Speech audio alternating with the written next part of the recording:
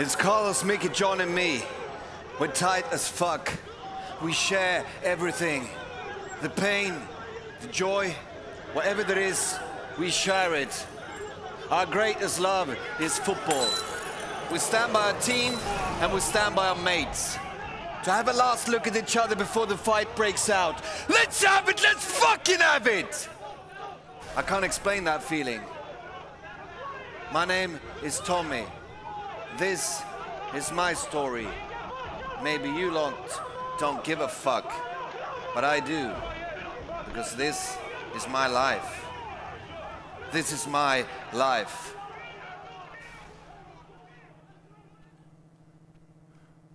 And our bond would never be as strong if we hadn't fought together, side by side, like brothers.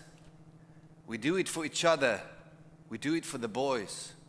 That's when you find out what you're worth, if you got what it takes. Would you leave a man behind? Because in our world, that doesn't exist. If somebody goes down, you pick him up or you go down with him, welded together by broken knuckles and knocked out teeth. You might lose, and that happens sometimes, but it is, as they say, taking part that counts. Knowing that together you've cheated death. When shit hit the fan, you stood your ground. I can't even explain that feeling of fear and excitement you get just before you go into battle. For that split second, time stands still and nothing else in the world matters but you and him. You or him, you or them. Cut off from reality, free from all the shit that gets shoved down your neck day in and day out. To clench your fist without even realizing it, to find yourself so deep in it that there's no way out but to fight. Then come the roar, the fast hands, the cold floors, and the sweet taste of blood in your mouth is like a fucking orgasm. We love to fight because that's what we're good at. Go in hard, get in first, come on!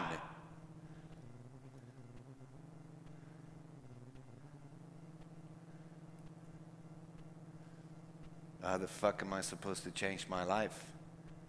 Hey? Amputate everything.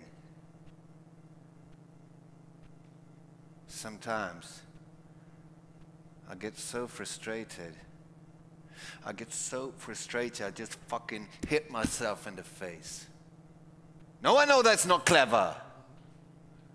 And I can't sleep because my head is filled with so much nasty shit.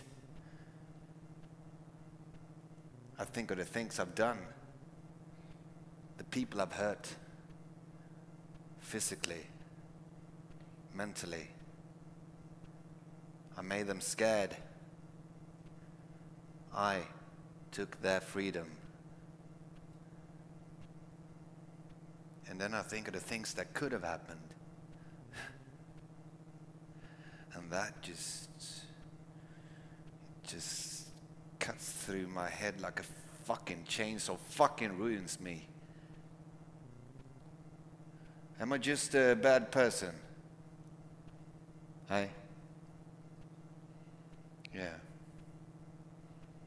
Maybe I am. Yeah, there are moments that I think, you know, I'm just this useless piece of shit that I don't even deserve to live. But I was good, you know, before all that. I was good. Right from wrong, that was my thing. I never gave in. But now, a thousand light years later, I've crossed so many lines. I don't even know if I could find my way back. Like that evening. That evening. What a fucking way to separate right from wrong marking this territory that doesn't even exist, defend something that isn't even.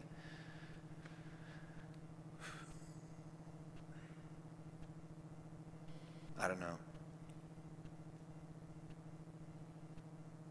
But what the fuck should I do instead, eh?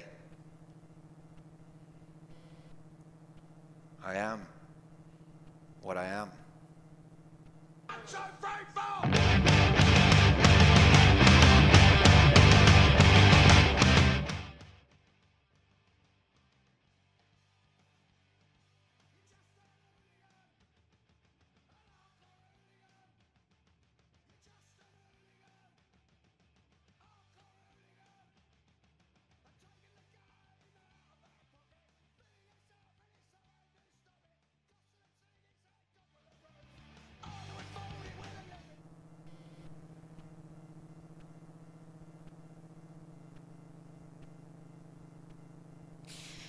Thank you, Ulf. I just heard a reading from the play Top Boy by Theater Fryshuset that has been played all over Sweden and abroad with more than 300 shows. I think I've seen Top Boy like 20 times, maybe, and I still can't get enough. It's a very good play. Thank you, Ulf.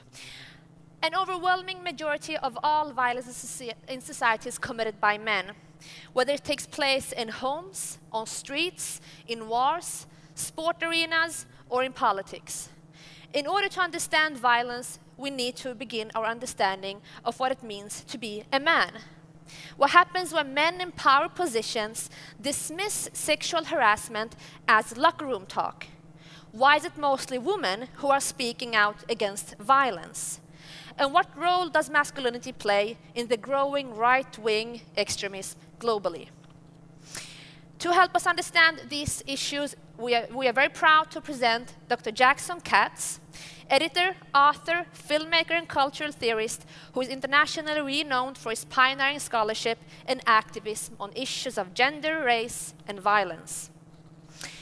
In 1993, Dr. Katz co-funded the Mentors in Violence Prevention, MVP, program at Northeastern University Center of Studies of Sport in Society.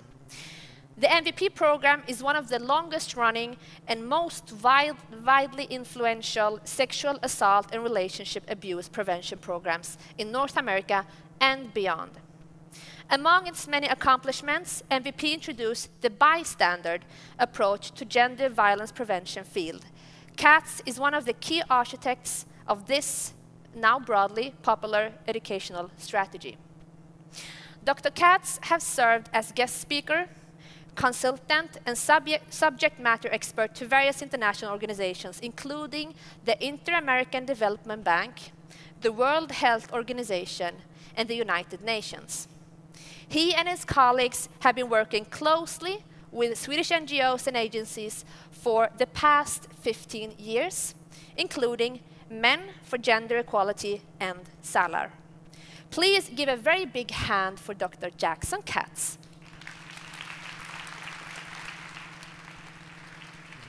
Thank you. Donna.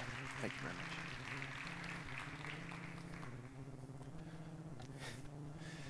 Thank you very much, Donna. Thank you all. Good morning.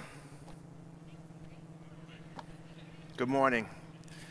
This is a great uh, opportunity and honor for me, so thank you to the organizers of this uh, great conference to ask me to be part of it. Certainly at the beginning of the conference, it's a great honor. Um, I'm sure it's going to be a great conference throughout the day, and hopefully some of my ideas and um, points will be um, duly noted throughout the course of the, the, the, rest of the conversations. At least that's my hope. I, I also want to say before I plunge into my um, prepared uh, remarks that uh, I've, I've, enjoyed this past week working with Men for Gender Equality, Men, who does incredible work and all throughout Sweden. Um, and, and, I've worked with them for a number of years, and I, uh, I just wanted to give them a big shout out and a thank you for all their work. And I think we all owe them a debt of gratitude for their continuing activism on, on issues of, especially on issues of engaging men in prevention of men's violence against women. So thank you to MAN.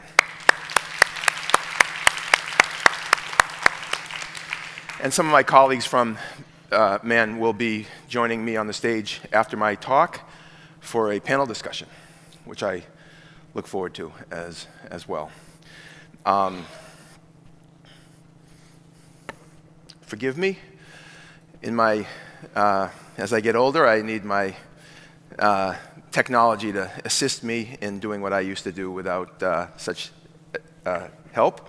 Let me begin by saying that it's absurd to think that anyone can have a deep and productive discussion about human rights and not talk about gender. Gender should be close to the heart of human rights discourse, but not for the reason many people think. Many people hear the word gender and they think it means women, as if gender issues equals women's issues.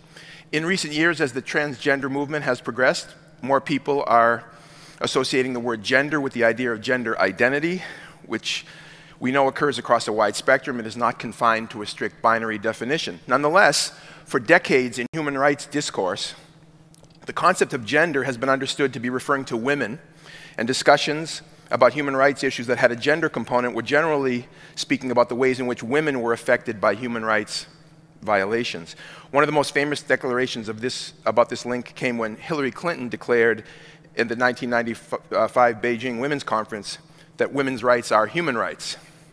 Of course, I agree, and I fully acknowledge that it is critical to talk about women as women as they are affected by human rights abuses. But I want to talk about another aspect of gender and human rights that has not received the attention that it deserves, and that is human rights abuses. And Donna said this in her introduction human rights abuses across the world are overwhelmingly perpetrated by men and the state actors that um, represent uh, patriarchal states. So we can't talk about human rights and not talk about gender, and we can't talk about gender and not talk about masculinities, because human rights abuses are overwhelmingly perpetrated by men and men as actors of patriarchal states. To me, it's just been incredible to watch human rights discourse over the past 20 or so years eliminating the centrality of gender when gender is at the heart of human rights and human rights uh, violations in particular. I just read an article just yesterday about hate crimes in the United States, my country, which I'll get to maybe a little bit in a little while, in the pathetic state of affairs in my country. But it was about hate crimes and how they've increased dramatically in the past two years. I wonder why.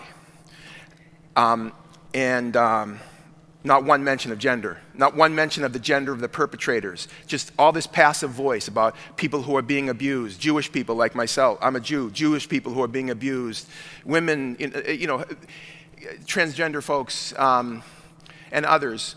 But no perpetrators. Nobody's doing it to them. It's all passive. It's happening to people. It's happening to women. It's happening to Jews. It's happening to uh, progressive activists. It's happening to Muslims. But nobody's doing it to them the absence of the active agent in the linguistic practice of talking about human rights abuses or hate crimes is so problematic and needs to be corrected. Talk about accountability, there's no accountability built into the very language. And I have a part of my work has been for a long time, scholarly work and activist work has been about trying to help people think about how language, the language that we use itself keeps us from being honest and also from naming the problem and I'll just, I'll just give you a couple examples because I can't resist. We talk about how many women were assaulted rather than how many men assaulted women. We talk about how many teenage girls got pregnant in Sweden last year, rather than how many men and boys impregnated teenage girls. I mean, even the term violence against women is problematic. You won't hear me say the term violence against women without uh, problematizing it or complicating it. Why? There's no active agent in the sentence. Violence against women is a bad thing that happens to women, but nobody's doing it to them. They're just experiencing it, kind of like the weather. But if you insert the active agent men, you have a new phrase men's violence against women. It's more accurate, it's more honest, isn't it? But you rarely hear it, right? How are we going to get serious about dealing with human rights abuses and hate crimes and not talk honestly about the fact that the overwhelming number of them are committed by men? And then trying to figure out why that is and then what we can do about it.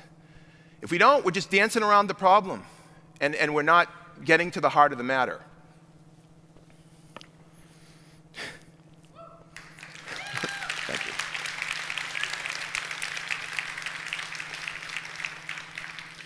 And let me, let me say, thank you, let me say, it's not anti male to say what I just said. I don't believe it for a nanosecond that anything that I just said is in any way anti male. I don't buy that for a second. It's not anti male to call it out. In fact, I think it's anti male not to call it out. You know why? You know who the primary victims of most forms of violence are, with the exception of sexual violence? It's men and boys. That's who. When it comes to murder, attempted murder, assault, aggravated assault, gay bashing, bullying, the primary victims of all those crimes are men and boys. The primary perpetrators are also men and boys. So when we refuse to say that this is an issue of men's violence, it's not just men's violence against women, it's men's violence against other men and men's violence against themselves. My colleague Michael Kaufman wrote a paper in 1987, that's 31 years ago, shockingly, called The Triad of Men's Violence. And what he said is the triad of men's violence is men's violence against women, men's violence against other men, and men's violence against ourselves or themselves. They're all connected. And sophisticated people in the 21st century make those connections. The reason why I'm saying this is you'll hear people say things like, well, what about all the violence against men? We, we, we're focusing on women, but what about all the violence against men? As if feminists and activists haven't thought of that. It's like, oh, we hadn't really thought about violence against men. That's a good point. It's like, are you kidding me? We've think, been thinking about this for decades, and we've been making these connections for decades. Let me give you another example. When I say men's violence against themselves, you know what I'm talking about. Suicide, which is violence turned inward, right? Think about this. The United States of America, my country, 32,000 gun deaths per year. 32,000 gun deaths per year, which is pathetic and shameful. And I know that people around the world, including in Sweden, think that we're barbarians in the United States. And there's a lot of people in the United States who think we're barbarians. Two thirds of the 32,000 gun deaths per year in the United States are suicides. Two thirds. The vast majority of those suicide by gun are men killing themselves. And the fastest growing category of suicide by gun in the United States is white men over the age of 50. The same system, let me just say this the same system that produces men who abuse women, in other words, that takes a 20 year old college student and rapes, you know, a 20, the same system that produces a 20 year old university man who rapes his fellow uh, student is the same system that produces a 47 year old corporate executive in Stockholm who sexually harasses his subordinate or his colleague, is the same uh, system that produces adult men in Europe going to Southeast Asia or the United States going to South America to buy sex from 12 year old kids is the same system that produces a 60 year old man, white guy in northern Sweden who goes out in the woods and shoots himself in the head. It's the same system that produces all those abuses. And it's the pathological way that we define manhood, that we train and socialize boys to deal with pain and sadness and disappointment and all the other emotions of life that so many men are ill equipped to deal with. But they have the gun, they have the knife, they have the ability to use violence to sort of project and get angry at other people when in fact what they really need to do is get in touch with themselves. Don't you think? And all these things are linked. All these forms of violence are linked. And I say that because both on a practical level and on a, on a conceptual level, what the practical piece of it is if we want to build support for the kind of work, the feminist work uh, in the battered women's movement, the sexual assault movements, and we need to build support, especially in this cultural moment. But we, one of the ways to build that support is to open up this discourse and widen it and talk about all the ways that domestic and sexual violence and men's violence against women are linked to other forms of violence, including men's violence against other men and against themselves. There's all these links and overlaps. I mean, how are we going to talk about gang violence and not talk about sexual assault and domestic violence? I'm going to get to that in my talk. I've gone way off the menu of my prepared remarks. But I mean, really, they're all connected. And yet you have all these cities in, in Sweden, in the United States, and I work, you know, I work all, all over, but primarily in my country where you have all these people who are working, this, doing this great work on gang violence prevention on one side of the city, and other people doing youth violence in the schools and in, in, the, in the community, and you have people doing the domestic violence on this side, and the, and the sexual assault people over here. They're all connected. All these issues are intersecting and connecting, and sometimes people don't even know each other. It's incredible. I think we need to be smarter. You know, we need to not just work harder, we need to work smarter on these matters and connect all these overlapping and intersecting kinds of abuses and human rights abuses. Don't you think? Seems pretty basic to me.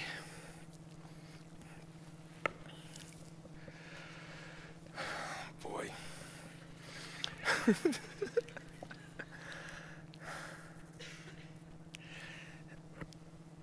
I want to show you a clip from one of my films because it brings it even more than me saying it from the stage, it brings it into full view the point that I'm making about the discourse and how the way that we talk about these issues has a lot to do with whether we are actually going to be effective in addressing these issues.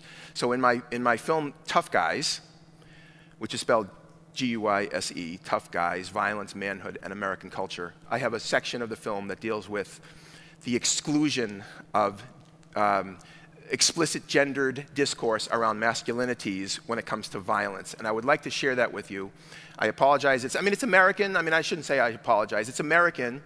Um, but I'm sure you have your Swedish analogs. And I, have been saying this since I started coming to Sweden about 15 years ago. People in Sweden need to start making media literacy films more than they have already because we don't just have to bring it over from the States. You should produce it yourself. And, and, you know, critiques of Swedish media discourse, not just the news, but the entertainment culture. And because media is so incredibly important in shaping people's understanding of the world. And, and, and, and we need better media literacy education at all levels. And I'm just, that's just a plea for somebody to start. I know some people are doing some good work, but it's not enough. I'm just going to say that. And I'm going to share with you my, my section from my film. Um, uh, Tough Guise 2. It's called uh, Hiding in Plain Sight. So, Bjorn, if you could roll Hiding in Plain Sight, please. After every event like this, the questions always are the same. What causes this kind of a shooting? How can this happen? How can they be stopped?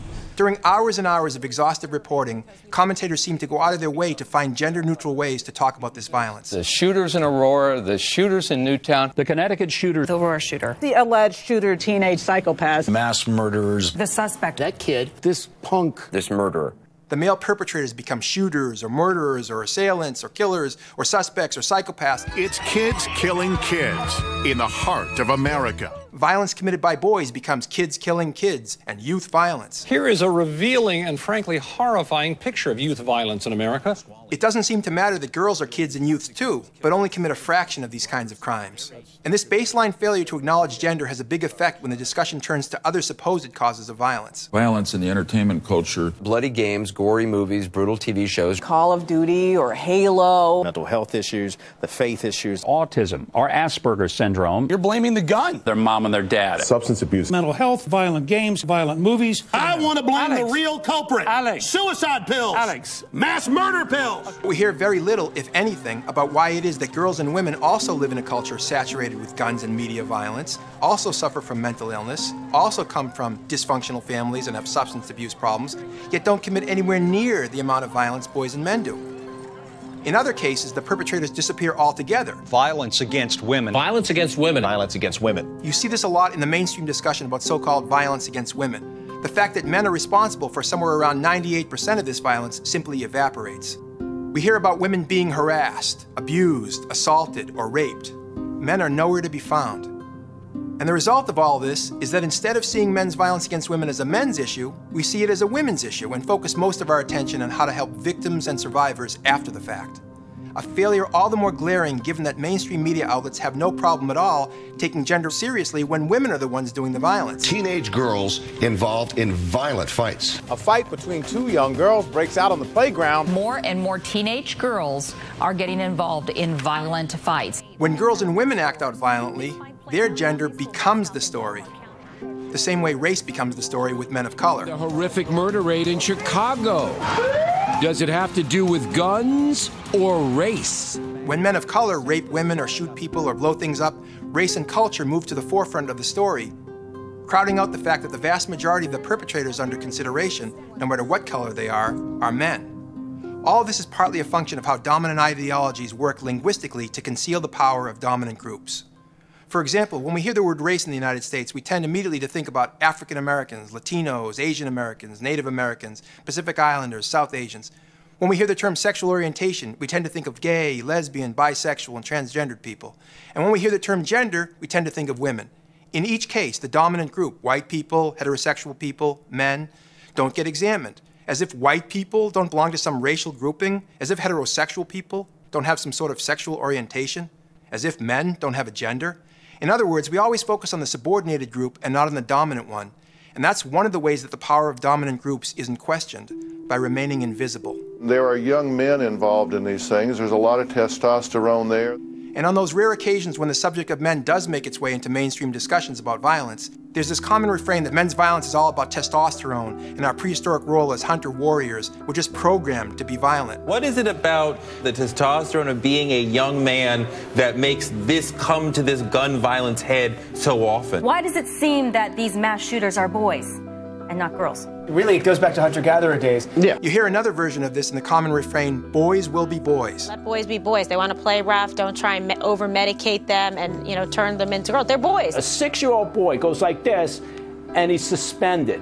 And, and, and we end up having to talk about it because, you know, they just are unable to let boys be boys. No one would deny that there are biological factors that sometimes come into play with violence.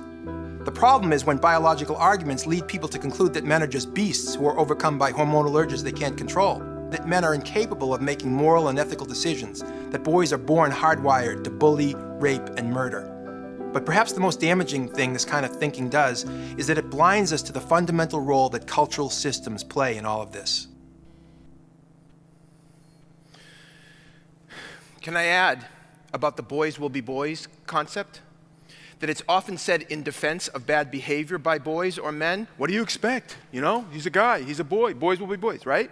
And you have your own saying in, in Swedish, right? I heard it last night, but I can't remember. What is, what is the saying in Swedish that's the same as boys will, similar to boys will be boys?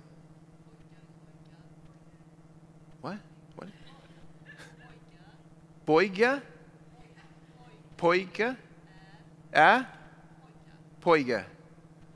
Okay, okay, okay. Okay. Thank you. Anyway, anyhow, um, it's usually said in defense of bad behavior by boys and men, but it's an actu- actually an anti male statement to make because the implication is that boys and men are not ethical beings who can make choices, ethical choices about their behavior, that somehow, you know, this hormonal urges are just, you know, overcoming our ability to make moral and ethical decisions. That's an anti male statement. And by the way, one of the ironies of, of feminists being called anti male is that feminists actually have more respect for men than that. Feminists hold men to a higher standard than that. They know that we're capable of better than that. But they get called anti male, and the people who defend bad behavior because boys will be boys are supposedly pro male? This is topsy turvy land. This is upside down world. You following me on this?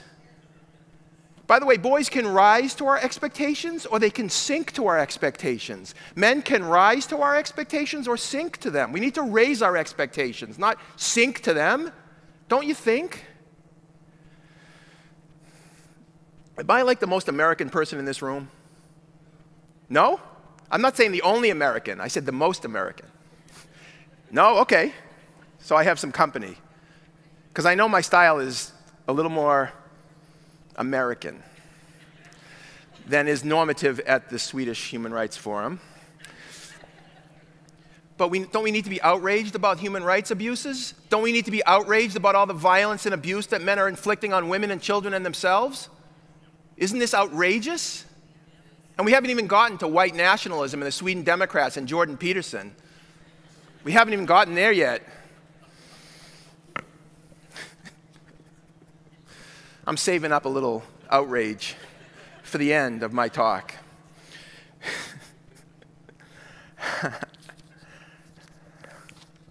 well, actually, you know what? I want to say something about the battered women's movement and the sexual assault movement. And I said earlier, men, Men for Gender Equality. I work with Unizon as well. There's people from Unizon here, great organization that uh, takes you know, care of the victims and survivors and the, and, the, and the back end of when we're not taking care of the front end of dealing with socializing boys and men better, the back end is all the pain and suffering that the people at Unizon and, and, the, and the battered women's programs and sexual assault programs deal with every single day. And by the way, victims are both women and men, right? Girls and boys. Anyhow, people like Jordan Peterson are constantly trashing feminists. And he was just here, what, last week? In a big arena. I'm sure I wasn't there, but I'm sure he was trashing feminists because that's part of his uh, stock in trade, right? And so I'm going to say something about feminists and the battered women's movement and the sexual assault movements. Women have been incredible, both here in Sweden and all over the world, over the past, you know, 200 plus years, but also more specifically over the past 50 years in building the battered women's and sexual assault movements. Men had been beating women in relationships and families and marriages for thousands of years, for thousands of years. These aren't recent problems in our species, but it wasn't until the 1970s that there was such a thing as a battered women's program, right? A battered women, uh, shelters, uh, uh, vic- services for victims and survivors, and, and toll-free numbers for victims to call, and trained counselors in universities and high schools and in, in communities to deal with all the needs of the victims and survivors. Was, there was very little offender accountability on domestic violence until the 1970s, until until, by the way, women got together, all over Sweden, but all over Europe, all over the world, certainly in my country, got together. There were some men who supported them, there's no doubt. There was men who were supportive of those women. Not enough, but there were men. But in a multiracial, multi-ethnic sense, women came together and said, we need services, we need funding for these programs, we need to take care of these people, we need to, we need to hold offenders accountable, we need to do prevention programs, all that kind of stuff that we take for granted, many of us in the wealthy world. And by the way, we shouldn't take it for granted. And parts of our own wealthy world, if you will, including in Europe, there's countries in Europe have pathetically low levels of support for victims and survivors of sexual and domestic violence, including countries that have all kinds of money. It's not about money in the case of what I'm talking about. There's wealthy countries in Europe that have a pathetic level of lack of support for victims and survivors of sexual and domestic violence. But, anyways, all the stuff that we have that we take for granted today, even though it's not perfect, is because of women's leadership with some men supporting them. In the sexual assault field, same thing. Men have been sexually assaulting women and children and other men for thousands of years, not a recent problem, thousands of years. It goes on to this very moment. And, and it's ritualized and supported in all kinds of cultural practices all over the world men's sexual violence against women, children, and other men. But there wasn't any such thing as a rape crisis center until the 1970s. There weren't trained counselors on university campuses and in communities to deal with and advocate for the needs of victims and survivors. There was very little accountability for offenders. I mean, and again, to the extent that there's prevention programming today, it's there because of women's leadership with some men supporting them. And it's been incredible what these women have been able to accomplish. But what, there's been so many misconceptions about these accomplishments. And you know, one of them is, um, you know, Jordan Peterson furthers this, is just that feminists, you know, you know, have some categorical dismissal of men or hate men or some ignorant stuff like that gets, that gets passed off as common sense in these corridors of, uh, uh, of ignorance. Um, so I, I just want to clear up a couple of misconceptions about women's advocacy and leadership in the sexual assault and domestic violence field. This doesn't completely correct the record, but it gives you at least some way to respond, okay? So let me think, let's think about this. Um, many people think that women and girls have benefited from women's advocacy in these movements, and they have. But it's not just women. Some people think that men have actually been pushed backwards by women's progress. That, in a nutshell, is the men's rights, so called men's rights argument. That as women have progressed, men have somehow been pushed backwards, that it's a zero sum game, and as women progress, men get pushed back. Um, and the, the uh, current occupant of the White House made a statement to that effect just a couple of weeks ago how it's a real hard time to be a man and men are the real victims in a sense. So, this kind of ignorance has a megaphone, a huge platform in the cultural moment that we live in, that somehow men have been disadvantaged by forward progress on women. I don't think that most people think that, but the people who advocate that do have a big megaphone, microphone, world stage. But I think what most people think is that men and boys are just kind of floating out there. We're just kind of, we, we have a lot of needs that aren't being met, and, uh, and we need a lot more help and support, which I agree with, and everybody that I know agrees with and has always agreed with. Uh, you won't find in my circles of feminists and pro feminist men and activists and intellectuals and everything else anybody who's going to say, oh, yeah, men are all doing real well. We all think that we need a whole lot more support for boys and men and attention to the needs of boys and men. But the idea that somehow boys and men are just kind of floating out there and haven't been affected by the domestic and sexual violence movements is such ignorance. And I'll just give you two examples of how profoundly men have been influenced in a positive way by this work. The first example has to do with uh, domestic violence and its effects on children. So, in the field, we've been talking increasingly over the past 20 years about all the children growing up in homes where their father abuses their mother, their mother's boyfriend abuses their mother. Sometimes the mother is the abuser, and this is also true in gay male relationships and lesbian relationships and other social arrangements. Sadly, there's an awful lot of kids, even as we speak, in Sweden and all over the world, and certainly in the US, who are growing up in homes where they're being exposed to quote unquote domestic violence. And there's a term that people have used to refer to these kids. It's called children who witness domestic violence. Do you, do you hear that term? And uh, sometimes people shorthand that to say children who witness. Well, this is a term that I don't like and I don't use. You know why? Because if you're a seven year old kid cowering in the closet as your father or another man is raging against your mother, you're not a witness, you're a victim. You're not observing something happening to somebody else, you're experiencing it happening to yourself. The experience of trauma is much more immediate and profound than is suggested by the passive word witness. Well, guess what? The category of children who are being traumatized in this way includes not just girls, but also boys. Do you have any idea how many boys in Sweden, right now as we speak, are either in the juvenile system you know, the juvenile system because of committing antisocial behavior or in other ways acting out because they've been traumatized in their families, in their, in their childhoods, in their early adolescence, and they don't know how to take a path different from the traditional path that we give to boys who have been traumatized, which is somebody took something from me, I'm going to take it from somebody else, which is why boys who have been abused are something like 10 times more likely to become abusive of others than boys who have not been abused. The prison system in Sweden and the prison system in the United States, in every state, is filled with chronologically adult men who, underneath the tatted up bodies and the badass attitude, are little boys, emotionally and developmentally, many of whom armored up as little boys against violence done towards them. And in some cases, they committed antisocial behavior against others. And I'm not defending the bad behavior by trying to explain it. And I'm saying this, and I say this in the States emphatically all the time we Homo sapiens have a big enough brain that we can hold more than one thought in our head at the same time, which is to say, we can hold individuals accountable for their behavior and we can take a step back and ask how our institutional practices and the way we socialize boys and define manhood and all that, how are those producing predictable outcomes? We can do that at the same time as we hold individuals accountable for their behavior. It's not one or the other. And the reason why I'm saying that is because on the right, you have people who say the moment you start trying to explain what's going on with a sophisticated sort of sociological examination, you get accused of making excuses for bad behavior, which is what we're not doing. We're trying to understand it so we can do differently because we, we can see so clearly how predictable these patterns are. And we're trying to figure out how to do it better, don't you think?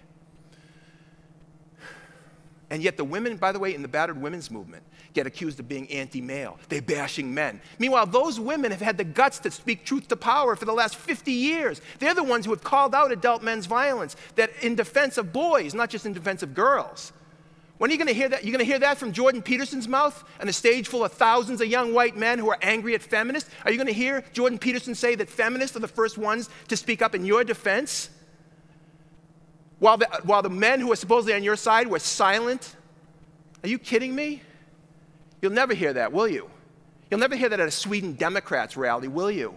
Meanwhile, it's filled with young, angry boys, angry at their fathers who are taking it out on dark skinned immigrants. Sorry, I'm going off on this.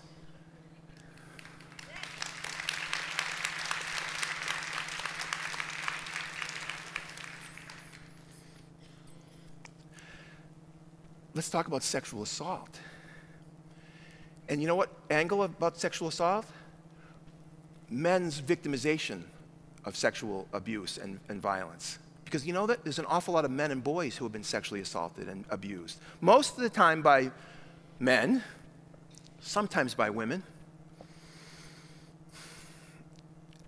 We're talking about this in a way that we've never talked about it. It's been going on for thousands of years in, in human culture men's sexual abuse of boys and other men. We're talking about it now in a way that's transformative in historical terms. Why are we talking about it now? And who were the first people to talk about boys and men as the victims of sexual violence? You know who it was?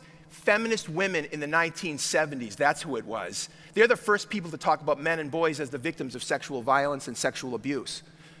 But when's the last time you heard feminist women credited with opening up cultural space for talking about boys and men's experience of sexual victimization and trying to get the, conversation going so we can have the, the, the, services and the treatment for boys and men who have been the victims of sexual violence, who deserve as much treatment as girls and women do. When have you heard feminist women credited with creating that conversation and opening up that space? You're much more likely to hear they just hate men, they just bashing men, right? I hope if you learn or hear or remember nothing else from the, my talk this morning, you remember that next time you hear somebody calling out battered women's movement and the sexual assault movement as anti male, you remember some of the things that I've said, because I don't believe this. I don't believe that they're anti male for one millisecond. In fact, I believe that what they've been doing is the best thing that could ever happen to men and young men and boys.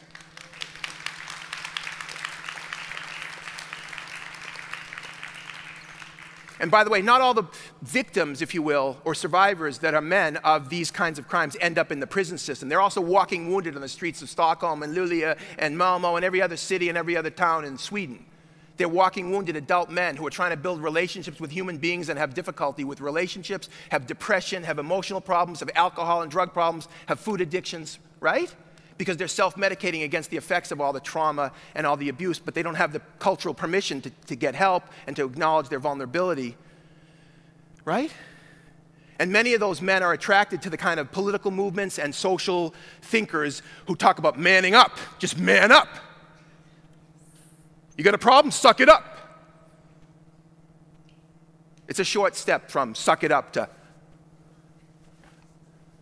isn't it? Which brings me to the last portion of my prepared remarks, such as they are. oh boy. we can't talk about white nationalism and the rise of authoritarian movements here in Europe and in the United States and elsewhere as just racist movements because they're not just racist movements. They are racist, but they're not just racist. White nationalism is not just about defending white Europe or defending white America. It's about defending a certain kind of white masculinity how many indications do we need of this? How many manifestos by crazy maniacs like Anders Breivik in Norway do we need to read to know that they know what they're talking about, these, these white nationalists, that it's not just about whiteness, it's about masculinity. It's about their understanding of defending a traditional white heterosexual masculinity against feminist ch- challenges to white male centrality, against LGBT challenges to heterosexual centrality. Gender and sexuality is at the heart of the white nationalist movement in the United States and in Europe, and it has to be talked about out loud. You can't address a problem if you don't willing to talk about it out loud. About a year and a half ago, or I don't know exactly when it was, there was a, maybe it was a year and plus ago, there was a, a big uh, rally in Poland, Polish Independence Day, right? And at the time, it was, and it was, there was, it was made international news because there was all these white, and I'll say people for the moment, white people at this rally, um, Sieg Heiling and, and, and, and, with, with like German slogans from the Nazi era in a country that was decimated by the Nazis. It was crazy, but it was this white nationalist rally, and it was the biggest uh, far right rally in Europe, or I think in Europe, but certainly in Poland since the Second World War era. And all the international news talked about this sort of white fear of racial and ethnic integration. And almost nobody mentioned that the political program that was being represented by that, that rally in, in Polish Independence Day was all about not just white homogeneity and trying to maintain this fictional culture of white homogeneity, but it was also explicitly anti feminist and explicitly anti gay. And yet that gets completely marginalized in the discourse. It's central, it's got to be talked about. It's got to be talked about. And it's not going to go away unless we talk about it. And let me just say, unless we figure out a way to talk to young white men in a way that they feel included in that conversation, the Jordan Petersons of the world that continue to fill stadiums. And the Sweden Democrats are going to continue to build support among white men, and alternatives for Deutschland are going to continue to get white guys, angry white guys, joining them until we figure out a way to talk to white men, especially young white men, and bring them into the conversation about how they can be part of the dynamic changes in the societies that they're living in, they're going to be attracted to demagogues who tell them that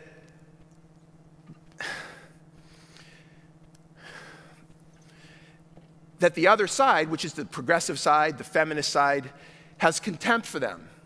Because if you listen to Jordan Peterson, you know what he says over and over again is he says to white young men, you matter. You matter.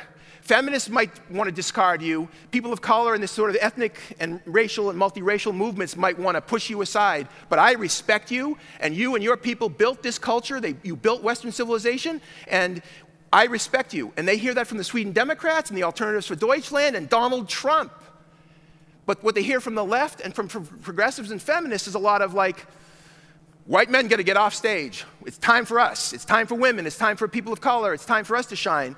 And I appreciate that. And I, I agree on one level, but we have to have a narrative that also figures out a way to include white men as part of the dynamic change in our society, or we're, gonna, we're, gonna, or we're losing. We're losing.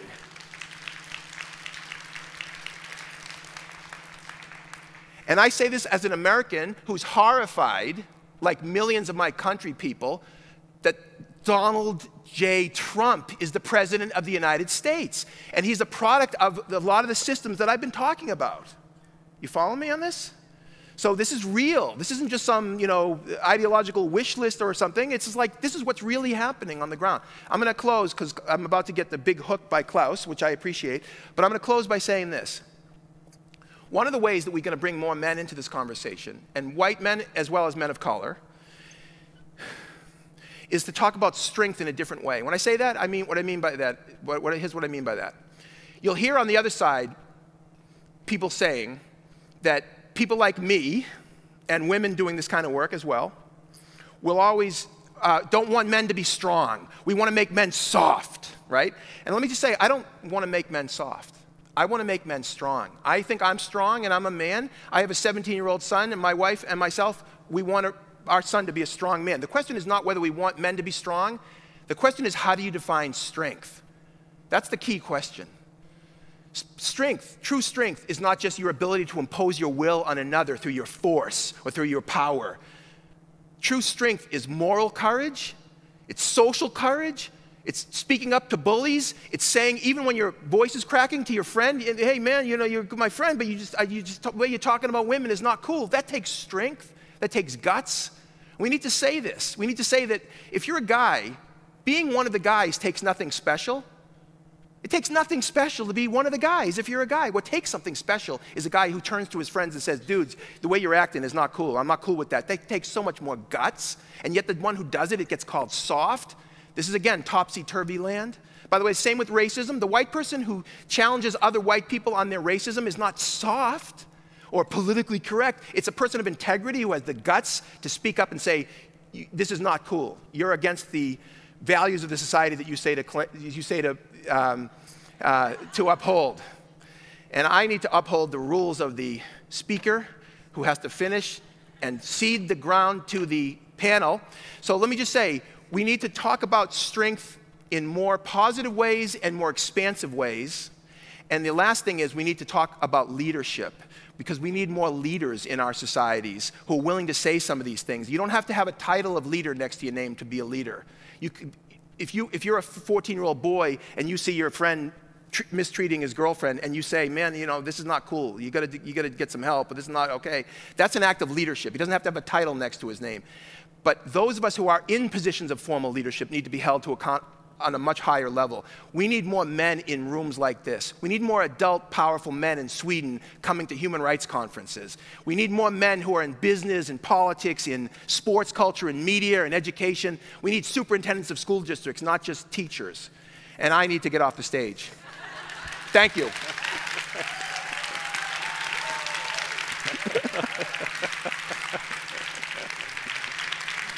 All right.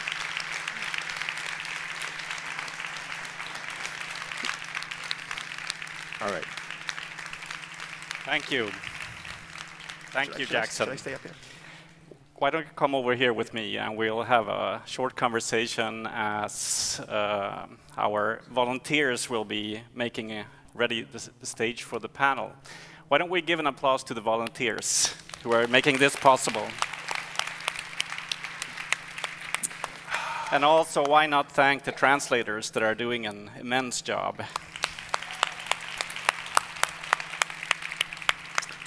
And please, Jackson, come, come and join me for Okay. a while here. We- We'll be waiting for some chairs and from some tables and for the other panelists as well. Um, um, I'll introduce myself in a moment, but I will be the moderator of the panel in a moment. Uh, Jackson, thank you so much for your leadership uh, and all the work that you have done for many, many, many years now. You are a true leader in the field. Uh, and, and actually, and also thank you for your passion. Thank you so much for your passion. Um, Thank you. Thank you. what started you off? oh, that's a good, I mean, that's an important question, but it's, it's a long, I, I, I know I can't give you a long answer. Um, um, I- as a young university student, I mean, back in the late uh, Mesozoic era, when I was a young guy, and uh, I just, uh, when I started, when I, for example, a big moment in my university career, or in my life really, was when I was, uh, I was a young journalist for my student newspaper, and, uh, and uh, I was covering a rally where a group of women students were organizing for better lighting on campus, because there had been a couple of rapes that happened outside. Most rapes happen inside, and most of the perpetrators know the victims, and victims know the perpetrators. But in this case, it was strangers in a, in a, in a, uh, uh, parking lot, car park. Anyhow, um, I saw these women, they were organizing for better lighting. And I remember thinking, not that these women hated men, but that these women were standing up for themselves. It was like they were, we have the right to walk across campus and not worry about being raped or sexually assaulted. I remember thinking if I were a woman and I had to worry about this all the time, I'd be so pissed off. And instead of being defensive in the face of women's righteous anger, I was more inspired by it. Like, wow, that's, that's what leadership looks like. That's what standing up for yourself looks like. Yeah. And that's, that was the beginning of it. And I realized as a man, as a white man, heterosexual, you know, I was in a position to, to, to make a difference. And I also remember thinking, where are the men? Why aren't there men out there? Yeah. It was all women. It's like men are the ones doing the most of the violence. Why aren't there more men? Because most men aren't violent. And I just thought I got to start speaking out. That's how it happened. Great, thank Yeah. you. Thank, Thank you. you. Thank you. So uh, let's move over to the chairs and let me invite the other panelists up on the stage as well. So um, please come forward. It's time to sit. sit and talk. So uh, as the panelists arrive, uh, I'll just say their names. Rebecca Andersson from uh, Unizon. And uh, Alan Ali from uh, the organization MEN. And uh, Ulf Stenberg you have already met uh, um, from Fryshuset. And of course, Jackson, you've met for quite a while now.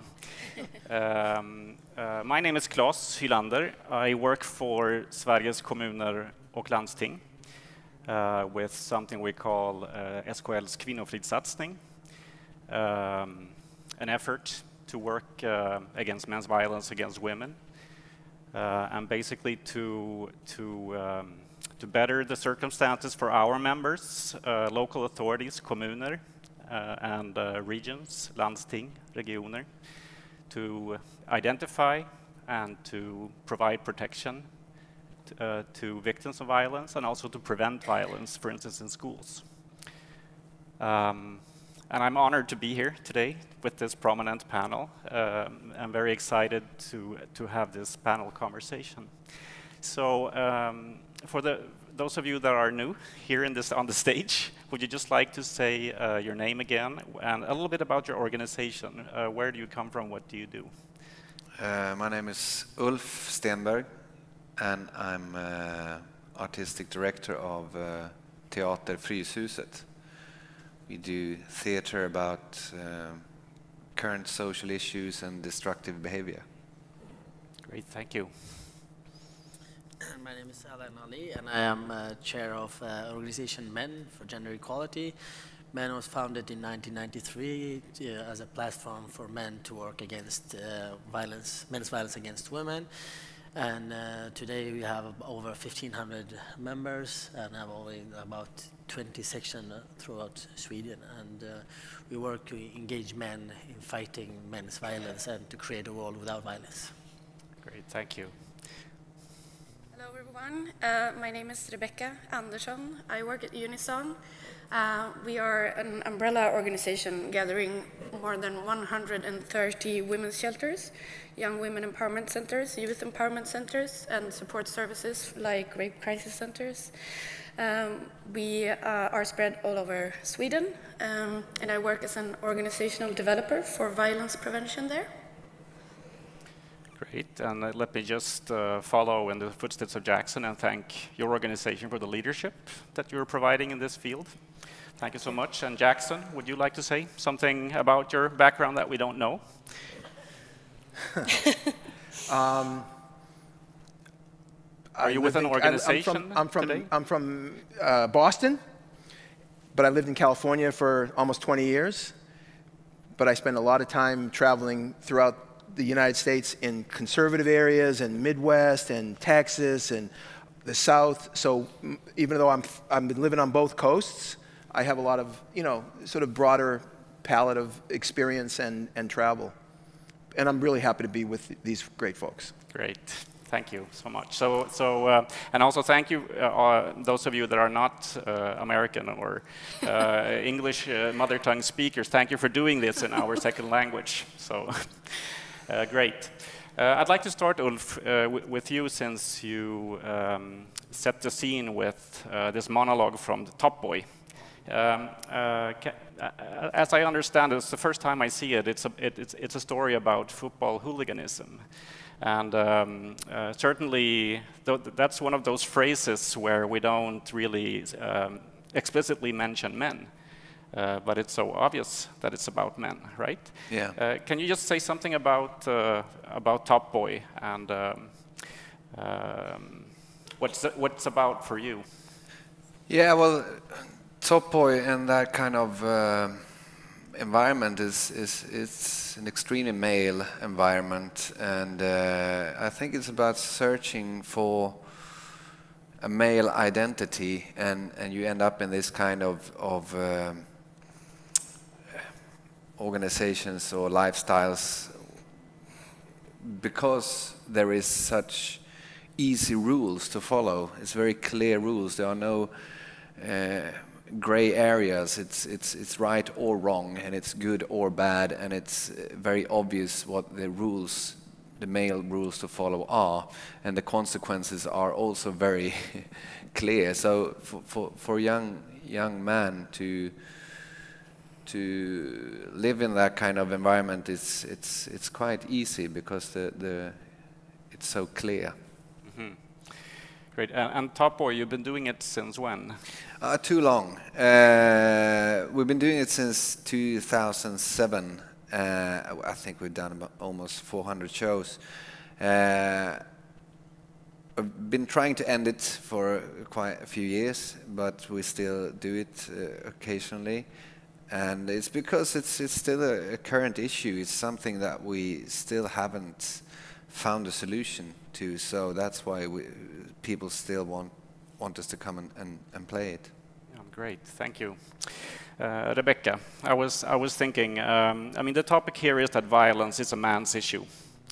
Uh, and it's based on this very basic observation, really, that the majority of all violence is committed by men. So, why is it then, do you think, that uh, violence so often is described in gender neutral terms? I mean, we use words like street violence, or domestic violence, or family violence. Why, why is it, really? It's a good question. and we uh, struggle with it, I would say, in the women's movement, of course. Sometimes it's astonishing to see that we still have to uh, name perpetrators and uh, effect effectively saying what's actually happening. It's not the apartment that's had a fight, it's a man who's been perpetrating violence against a woman. For example, uh, I think the reasons uh, for it is that we are afraid and that it's convenient and comfortable. I mean, convenience and comfort are our biggest challenges, I would say. Change is never going to be comfortable. Um, um, but if we want change, we have to step up and, and be uncomfortable.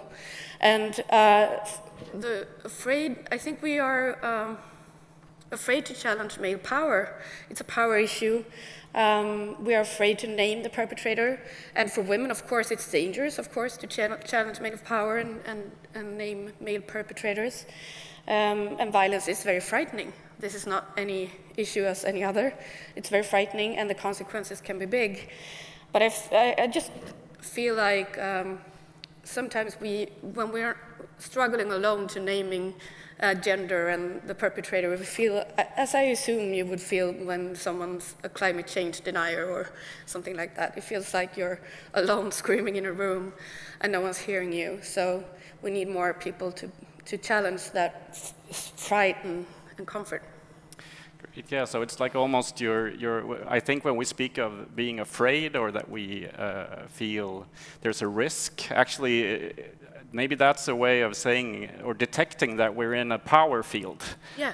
So, so really Yeah. what you're saying is that if we, if we uh, uh, mention gender and Yeah. masculinity and men, it challenges the power Of system. course. Yes, and of course, we in the women's movement, it's it's kind of plain and simple to the fact that being afraid to change, compare that to being afraid of being a victim of violence. It's like I know what I would choose. I would rather change and change the society and change myself than be afraid of violence all the time. Okay, great.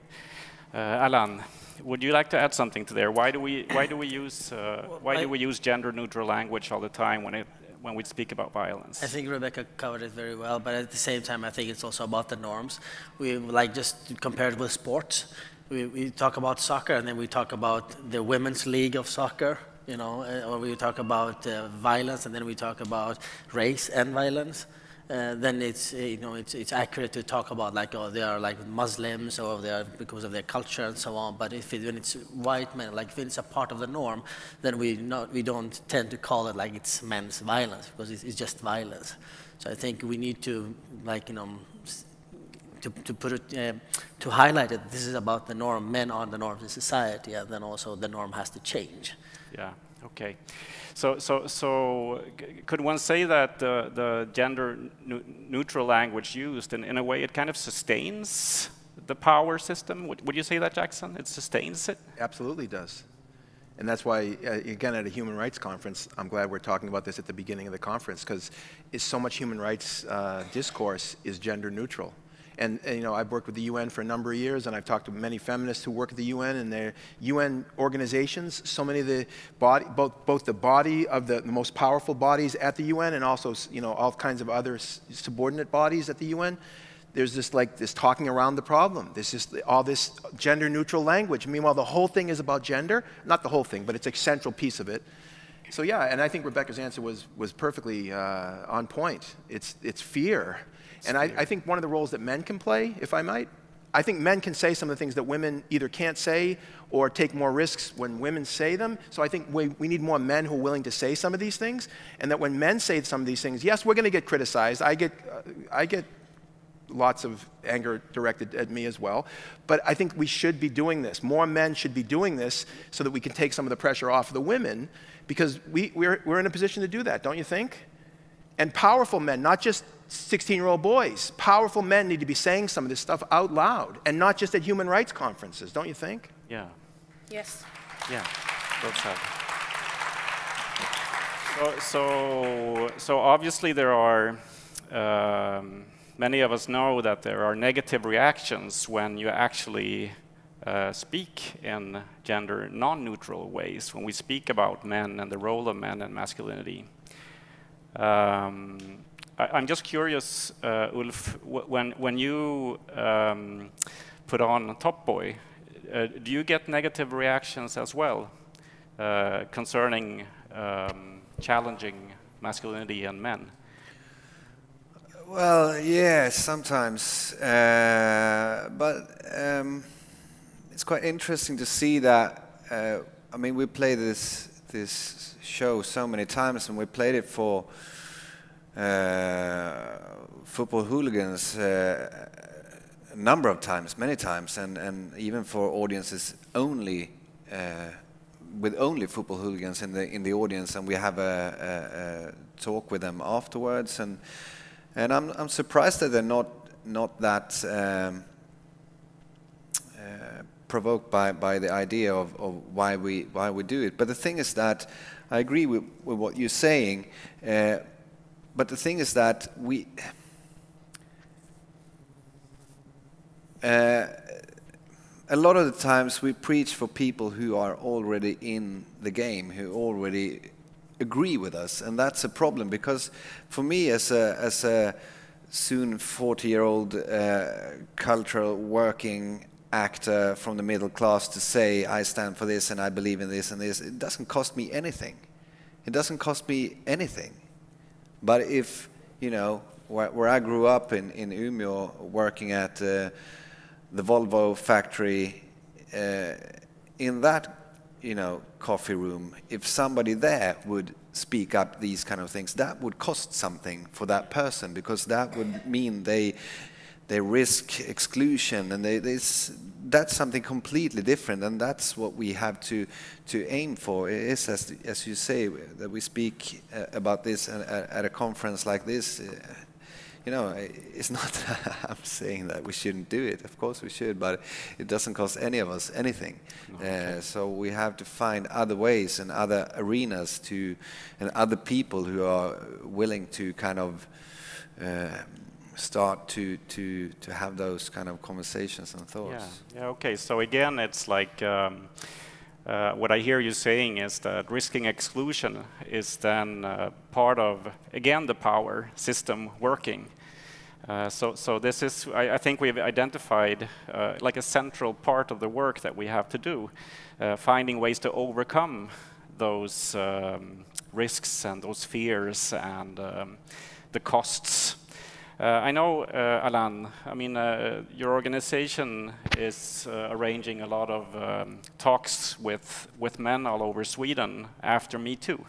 Exactly. What, what's the, what's the um, what reactions do you get in those contexts? Yeah, well, we're touring around Sweden. Our goal is to uh, visit 20 cities and to engage 1,500 men in, in talks about like post Me Too talks. And uh, often when the men come to our gatherings, often they are like, uh, they think that we're going to give a lecture about Me Too. But uh, on the contrary, we're going to talk about them individually. So we sit in small groups and talk about our own relation to the the Me Too, you know, what happened during Me Too, the stories, and everybody are, you know, they are entitled to their own um, thoughts, their own, uh, you know, views, and they can speak for three minutes without interruption, etc. And uh, nobody have like uh, have uh, nobody can during this time to uh, question them or give them further questions. And so, and so it's, an, it's a play of like you need to learn to listen and not to interrupt, and then you get your own time to talk about this. So we, and our reactions are like they are very um, often they, they get very surprised about it. Like, oh, I'm not, we're not going to talk about me too, about the other ones. Do I have to talk about myself? And then they get even more surprised when they start to talk about their own experiences related to me too in whatever way it is. And they, they get very surprised by how good it feels and how like it's like to talk about it. And we also struggle with this issue like whom are we targeting, whom, who are coming to our uh, sessions? And we try to you know to get uh, get a broader audience and to, to start to you know encourage men you know to talk to their friends. And some of, the, of our participants they take uh, they want to take this method that we are using it's called the small room to take it to their companies and to talk use the method within like in the coffee room in other places so we are slowly getting there but it's a very big challenge Mm. And just last thing, our participants have been from like 20 years old to up to like 75, and all have similar reactions, very positive about okay, the great. Talks. So, so I think you're is, uh, I think you're showing us an example of, of creating safe spaces but we have to find ways of creating those safe spaces also in the context where there are costs and risks, right? Uh, um, Rebecca, um, uh, something that we often hear in this discussion about the role of men and men's responsibilities is that uh, it seems like men that themselves don't perpetrate violence, uh, by their own definition at least, um, seem to feel really accused, you know, and, and uh, kind of uh, they almost become the victims themselves of this discussion. Um, wh- what can we say, do you think? And this, I, I, think we'll need a panel to help because it's pretty complex. Um, what, what can we say to those men? We're asking them to join a, move, a movement, to join uh, the efforts to change. And they, they, themselves are saying, but why am I responsible for what this guy over there is doing? I'm, I do not know him. I'm not part of his life. He's the perpetrator. I'm not. What, what do you, how can we mobilize men?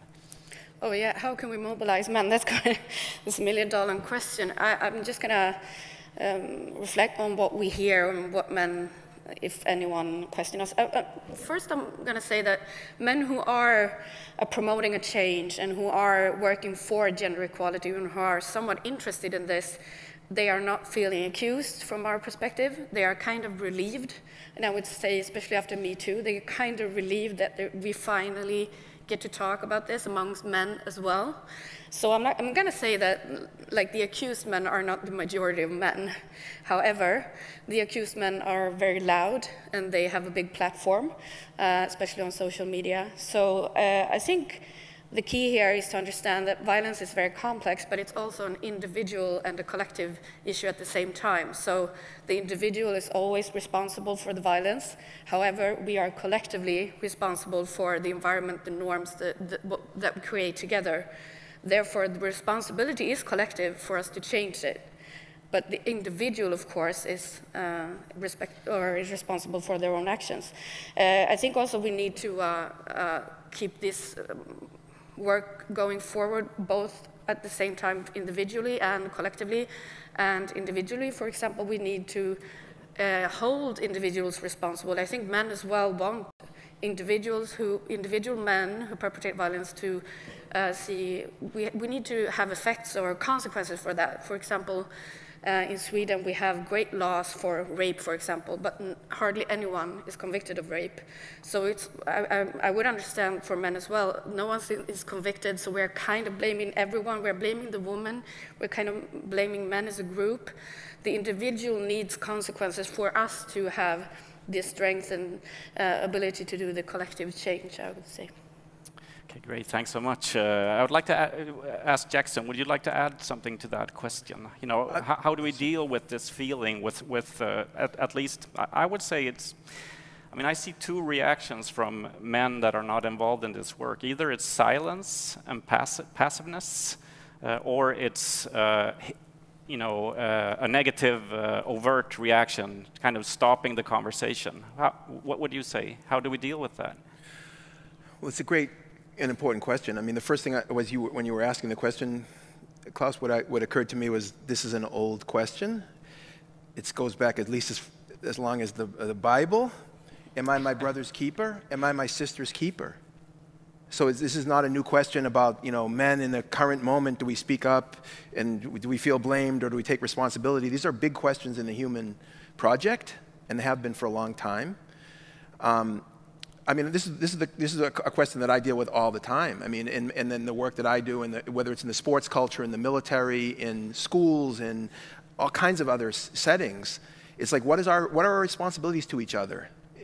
As friends, as, as family members, as community members, as members of the, you know, the, the Swedish National Project, what's, what are our responsibilities to each other? And, and, and part of what we're fighting against, in, even more so in the United States, but, but also in Sweden, is this sort of individualism you know, individualism. It's like, I'm going to take care of business. If I don't abuse women, it's not my problem. But in a sense, that's not, that's not true. It is your problem. And, we, and you have collective sort of consequences. So if the consequences are collective, which they clearly are, then the responsibility should be uh, also collective, don't you think? And I think framing it in positive, aspirational way, and I appreciate Ulf's comments, and I appreciated Ulf's performance too, by the way. Was, that was fantastic. And I wish I had been in the room with a bunch of hooligans watching that that to me is fascinating. Don't you think? It's fascinating would be fascinating as a dynamic.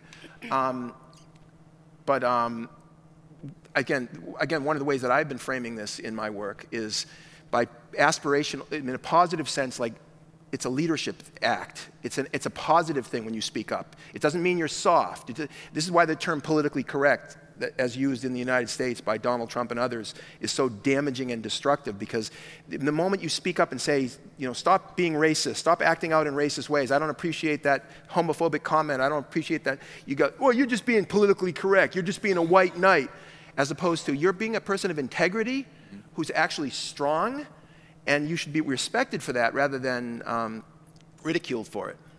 Great. Rebecca, you. Yeah, just to comment on that, uh, I, what I get for like the middle, the men in between who don't know what to do is they get a, they have a feeling of discomfort. I see the problem, I don't know what to do. Women cannot carry that discomfort, but you can listen to women. What we have always done to get rid of the discomfort, and that is to act and to make a change, take a stand, stand with women, stand for women be practical. You don't have to uh, start a company lecturing thousands of people. Uh, going to social media, read the comments on women's posts on social media, react when some other man says something degrading or violent or disrespectful to a woman. Just add something. I don't agree with you. What do you mean this is not respectful? Mm. If you keep doing that, you're making a huge change, and I'm going to promise you, you will feel better if you act than if you don't. Yeah, great. Thank you. Alan. I, I, totally agree. And I think it's also about awareness because we tend to, as, as men, as, as a group, we tend to turn the other way because this is not about us, it's about them. You know, if you're white and this guy talking about racism, then you turn away. Oh, okay, it's not about me.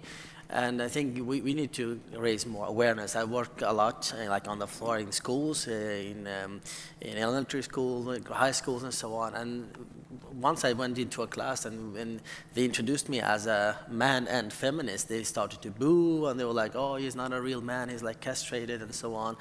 And after about, I, I think, I, I had some questions. I questioned some. I gave them some questions, and they couldn't answer. And I started to talk about uh, like why is gender equality important, and why the role of men in the process is important, and why we men need to like you know we need to actually fight for our own rights, for our own feelings, for our own being. Like we, we need to be free because we are not free because of these chains of destructive masculinity. You know, and uh, I mean uh, Jackson told a lot about it, so I'm not going to repeat that.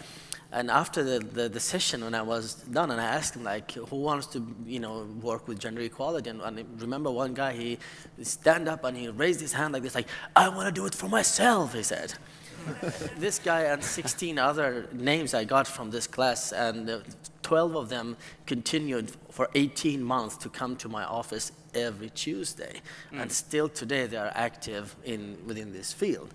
Mm. So I think it's, it's doable, but we need to create awareness, but also we need to give men tools and a reason to why to do it. Uh -huh. And especially when I get this um, comment about like, oh, I mean, you know, I didn't ask for all these privileges, you know, I, you know, I didn't ask to be uh, born as a man, and I didn't, and I said, okay, so you didn't ask for any of this, but how can you use those privileges to do change? Because you are in, you can do the change, you know, you, you can use it. Like we, we men, like, you know, it's a risk, but usually when it, we talk about men in traffic and whatever, you know, we take a lot of risks. Yeah. So why should this be more different in other areas where we can actually do some positive things here? Yeah. Thank you. Actually, I, I, I, was thinking, Ulf, of the monologue uh, before that. Uh, I think in the beginning of the monologue, with all the kind of rage and, and power, display of power and the high voice, and then you, you change to a much more quieter and more introvert and the more the feelings inside. And I, I just was reflecting on that, what society sees of young men in, in, in uh, uh, violence around sports arenas is the first part. Mm. But we never really hear, hear in the public arena, we never really hear those feelings of self-contempt. Am I worth something? Can I live? Um, what, what, what should I do with my life? Um, I was I was wondering is is there uh, um, um, is there a, a, motivation for change and, uh, and talking about that with your audiences when you do Top Boy? Yeah, I mean, we've had really good and deep discussions with people who are um, very deep in this kind of uh, destructive subculture, but also other uh, kind of uh, related uh, subcultures. And we have really good discussions because they're eager to talk about their feelings. They want to talk about their feelings. Uh, but it's very difficult. But I think I see it a, a bit as addiction, or if you have a, a, a, drinking problem. I think a lot of people who, who have addiction problems, they have uh, downsides. They have uh, when they start to kind of question themselves and they think they're useless and they think they just, you know, it, it, it, kind of feeling sorry for themselves. And you either make a change or you just start drinking again to you kind produce, of yeah. yeah. So that's that's how I see in violence as well. That you because uh, violence is is it's uh, it's quite fun uh, to do. Uh, it, it's it's. How a do you mean? I mean it's a, it's a it's a great kick uh, to to be in a in a proper fight. Of course, you. Uh, it's a feeling of being alive, and it's feeling of uh, putting yourself on the edge of what you can handle and whatever. I understand that feeling, and I've uh, I've I've enjoyed it as well, but it's like I think it's like an addiction. It's like drinking. Uh, of course, they enjoy being drunk, but it's uh, it's not good for them or or for their surroundings. But either you make a change or you just do it even more. Yeah. And you have to kind of you have to always have to raise the bar. So you always have to kind of.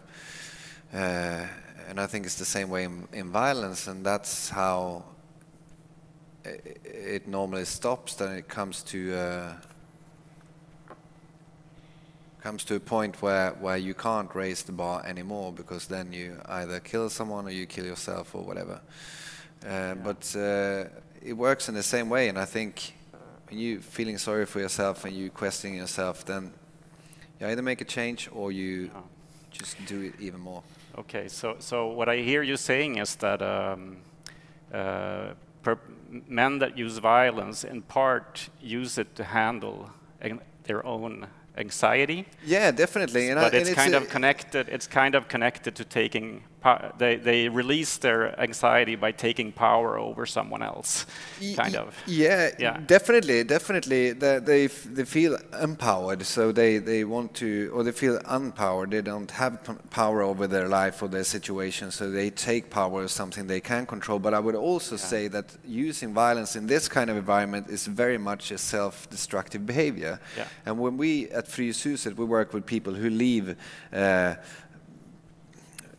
football gangs or, or, or, other criminal gangs or uh, extremist organizations. And, uh, and what we see is that when they cannot uh, use violence or express their hate uh, in the way that they're used to, a lot of them start harming themselves they start uh, like normal self-harm. They start cutting themselves, or they get problems, uh, eating problems. They get eating disorders because they start to starve themselves. Because I would say, for a lot of people, violence and, and hate is is uh, self-harm kind of behavior, but yeah, it's kind of harming oneself by harming others. Yeah, and also putting yourself because a lot of people uh, they just want to get fucking hit in the face because then you know at least I'm this hurts, so I don't have to focus on this. Great. So it's it's. Uh, thanks. Uh, for those remarks, and I think it, it's get, it, it is actually one of the challenges uh, starting to understand the, the kind of mechanisms that goes on inside and still keeping the focus that this is a power system and regardless how the perpetrator feels it's not, uh, it's, it's, it is a power position to use violence. So it gets tricky when we start listening to this and we need to kind of keep things uh, straight uh, in the analysis from the outside. But it's important to, to understand what goes on inside uh, for those guys and for those men. We only have a few minutes left, and I have some really important issues I'd like to bring up with you. And one of them is actually pornography. Because um, pornography on the internet is a huge industry today. And uh, it, a lot of the content is overtly misogynic. deeply sexist, and it actually sexual, sexualizes coercion and violence against women and girls. Uh, and one can really be worried and think about what are the implications of this, and uh, how is it possible that this is allowed to go on? Kind of in a, in a parallel universe every day for young people and for all people. Uh, Rebecca, would you like to speak something to this? Yeah, sure. Uh, this is uh, we're used to at Unizon to being the angry women, angry women's movement against pornography. So I'm very keen on hearing the men's uh, inputs as well. But uh, first of all, the implication is sexual violence, because we see a lot of effects from consuming pornography and the way pornography has taken over and living like its own parallel life on the internet, not uh, regulated in any way. And we see a lot of effects on sexual violence, of course, connected to consumption of pornography. But why it goes on, I would say two things. The first is that adult men keep watching pornography. Uh, it's an industry not held up by children. Children have access to it, unfortunately. Uh, but adult men are the main consumers of pornography. So if men just stop watching pornography, the industry would uh, notice it. Uh, I think also uh, it's not that, it's, uh, uh, speaking like before, what can you do as a man and how can you make a change? That's one thing you can do. Stop watching pornography, tell your friends that you've stopped, ask them to stop, and ask them why they won't stop if they won't. Why are they keen on watching sexual violence on documented uh, film? The other one is, of course, that the society is doing nothing uh, about this as well. Like we are living in a time, as you said, it's, yeah, it's a, a huge silence. We are beginning to hear some reactions, uh, unfortunately, still mostly from NGOs and civil society. So we are uh, expectant, and uh, we are expecting some um, reactions from political leadership and and government. And I think. Um, there has to be consequences of this. We cannot keep having internet as a wild west. This is not a wild west anymore. It's, it has formed its own society. Everyone is on the internet, and uh, we cannot keep pretending that we cannot make laws that affect the internet. We have laws for everything because that's how we live together in a society uh, to keep each other from harm. So why should that not be the case on the internet? Yeah. Uh, great, Rebecca. Thanks. And, and, and uh, Jackson, would you like to comment on, on I mean, how can this just go on, having a huge industry that are pushing out uh, misogynic, sexist messages about violence against women and girls? Well, this, I mean, it's, a really important question and really important conversation. I know we can't do it full justice in this space and time, but um, I think one of the one of the best developments conceptually and practically in thinking about how to address pornography is you know, Gail Dines and her colleagues and others have been promoting the idea that, uh, that pornography is a public health crisis of the digital age. And by framing it as a public health issue rather than a morals issue, it takes out this discussion of are you pro sex, are you anti sex, and all this kind of silly discussion that people have, which then papers over and sort of denies the, the, misogyny and the abuse, then it just becomes about, sa- it, it, in, in the mainstream conversation, so much of it is about are you repressed, are you prudish, versus are you, you know, you know, celebrating sexuality as if that's what the pornography industry does. The pornography industry has been very effective in selling itself as somehow sexual liberation or freedom, which is totally ridiculous. I mean, it's, it's Orwellian to, to call the pornography industry pro sex and it's, it's, it's, it's distorted sexuality such that it's, it's, it's caused so much harm both to women and to men. And so I think by framing it that way, and I think the public health frame allows us to talk about the harms done not just to women but to men and how many boys, like for example, how many boys and, and, heterosexual men's sexuality has been diminished. Their ability to form healthy sexual relationships has been diminished by their consumption of porn. That's an important angle as well because, because then you get men paying attention out of self interest in addition to altruistic concern and compassion for the harm done by men towards women. It's also men are harming themselves and other men. And in that way, you're going to get men who are going to pay attention more than the, the, claims about your responsibility to, you know, to, to women, which is important. I'm not saying you shouldn't talk about that. Um, it's important, but it's also important to talk about self-interest. Yeah.